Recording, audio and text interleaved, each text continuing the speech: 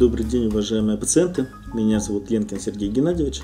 Я врач-венеролог-уролог. Сегодня мы обсудим тему налет на головки полового члена мужчин. Ну, вообще налет на головки может быть физиологическим. Это в том случае, если выделяется смегма. Смегма – это продукт сальных желез, они еще называются тизоновые железы, в области головки и крайней плоти.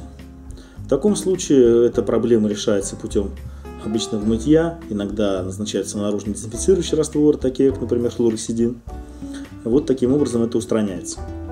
Э, также может быть просто из-за долгого отсутствия мытья также налет на головке образовываться. Ну, лечится он просто водой с мылом.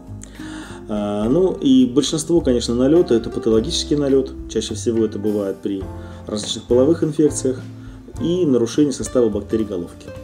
Что делается для диагностики вообще этих половых инфекций? А, делается следующим образом. Первое. Берется мазок отпечаток с самой головки, налета а, наружу.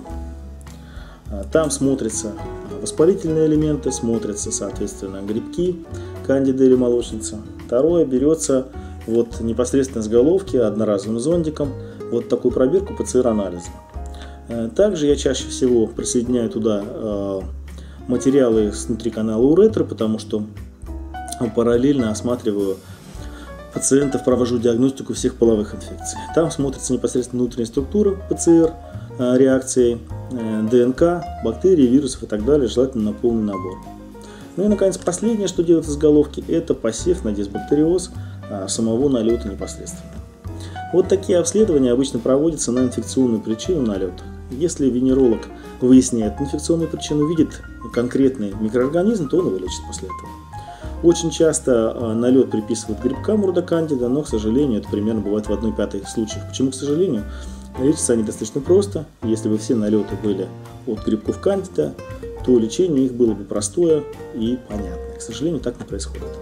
Ну и бывают более редкие причины, такие как сахарный диабет, такие как аллергические разные заболевания, при которых также образуется налет. При необходимости диагностики и лечения налета на головке полового члена у мужчин обращайтесь в нашу клинику платный КВД к опытным венерологам.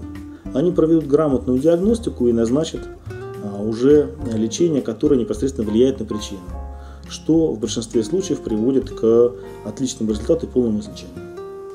А у нас имеется экспресс-анализ мазка отпечатка с головки в нашей клинике.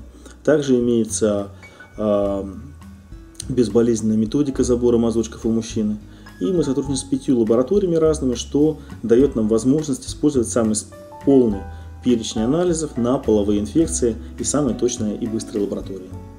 Поэтому при э, образовании любого налета на головке полового члена у мужчин ждем вас в нашей клинике платный КВД. Спасибо за внимание.